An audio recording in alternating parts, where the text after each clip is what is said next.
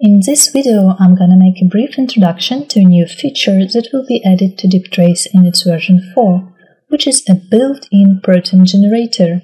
It will surely become an important time saver, helping you create new footprints with 3D models up to IPC standards in no time. So let's see how it works. In Pattern Editor, I'm gonna create a new library, call it AD8643EP. I'll leave the default library group, user patterns.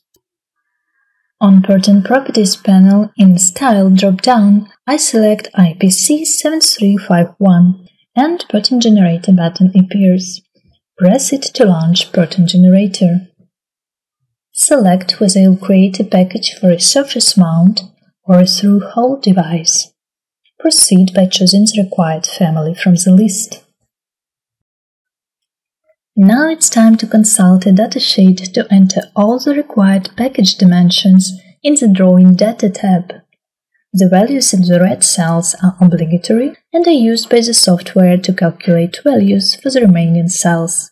However, the calculations can be done in reverse order too, meaning that you can enter data in non-obligatory gray cells to get values for the required cells. So no matter what data is available in the datasheet, we will always be able to generate a package. Basically, you can finish here, just press Recalculate button and then OK, and get your footprint with all other parameters set by default, or continue and adjust them according to your needs. Note that the software remembers the settings used for the previous similar package, so it's always a good idea to revise them or reset default values. I'm gonna use defaults, but let's briefly go through the options DipTrace offers. Moving to the following tabs, you can choose the board density level. Also, you can always return to default values by pressing Set Values by Default button.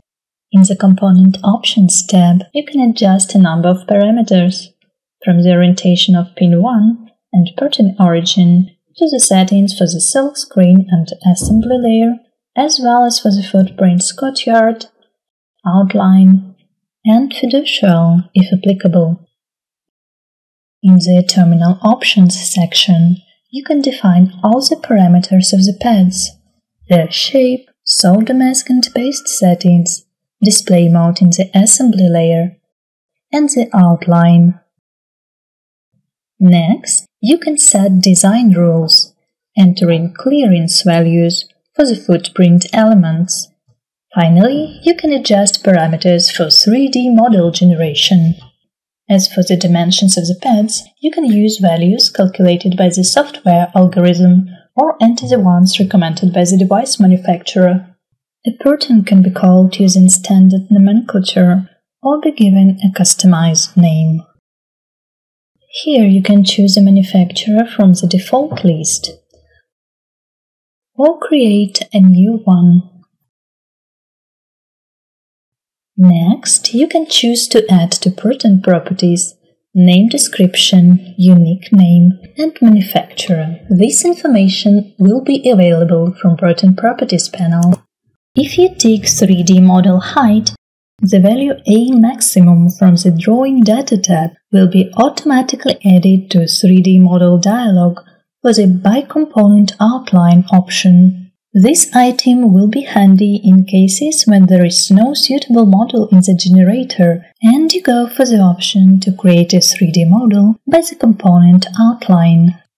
Tick Add all density levels to the library to generate two more patterns for layouts with different density characteristics.